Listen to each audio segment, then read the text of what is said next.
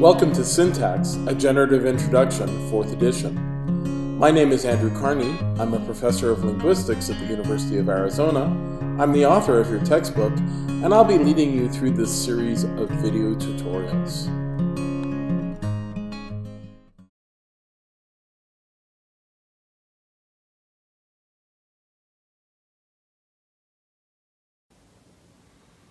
What is syntax? Linguists use the term syntax in two different ways. They use it as a name for the subdiscipline that studies sentence structure, and they use it as a name for the phenomenon that we're studying. That is, part of the grammar that results in sentences. Having two usages like this is common. For example, the term chemistry can both refer to the scientific discipline that studies chemistry, such as the chemistry department, and it also refers to the thing we're studying, as in the chemistry of a liquid. As a discipline, syntax is defined as a science. Syntacticians investigate the principles of how words and phrases are put together into sentences using the scientific method. Let's think a little bit about what sentences are. Consider the following list of words. Attack, puppy, brave, the, kitten, smelly. We know the meaning of each of these words, but we don't know the situation they describe until they're organized into a sentence. The brave kitten licked the smelly puppy describes one such situation. If we shuffle the words around into different orders, we get very different meanings. The smelly kitten licked the brave puppy the brave puppy licked the smelly kitten. The smelly puppy licked the brave kitten, and so on. But note, not any string will do. For example, take the string puppy licked smelly the, the kitten brave. This doesn't mean anything. The words have to be organized into specific kinds of structures there has to be a subject noun phrase and an object noun phrase, and they have to be ordered in some particular way with respect to the verb. Now, there are languages where order seems to be less important, and we will return to those languages later in this video series. So turning back to the question of what is a sentence, a sentence is a hierarchically organized structure of words that maps those words to meaning and vice versa. The study of syntax is a science, and what that means is we use the scientific method to investigate it. We observe some data, we make generalizations, develop hypotheses, and then test it against some more data. Let's do an example. We're going to look at the phenomenon called anaphora.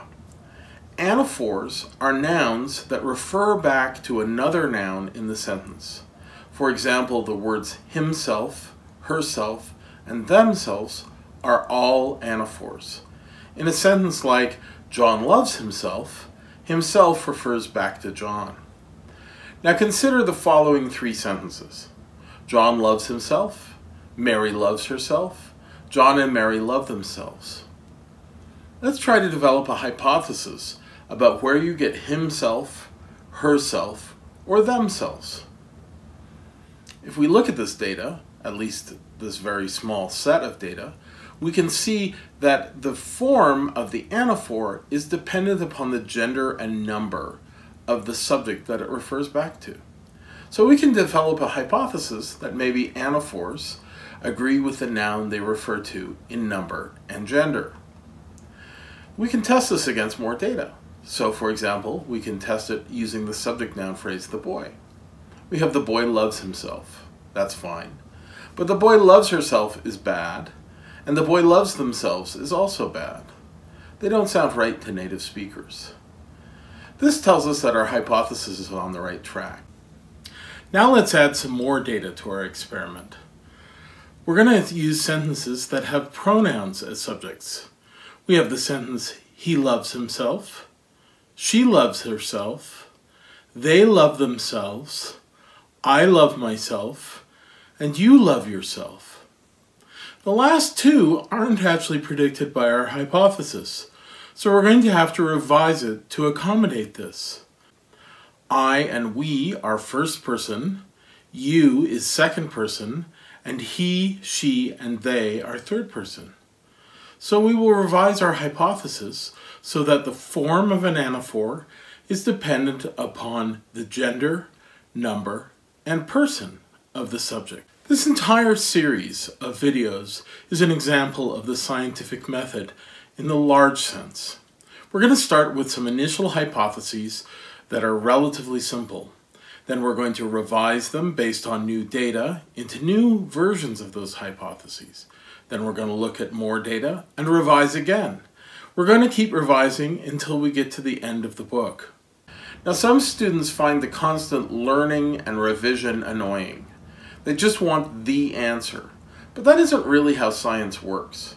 And that's not how linguists work either. So to summarize, the term syntax has two usages. One is it describes the phenomenon of sentence structure, and the other is it describes the discipline that studies that phenomenon. Sentences are complex structures that connect words together into descriptions of larger events or states. Syntax uses a scientific method, which means we observe some data, make hypotheses, and test those hypotheses against more data.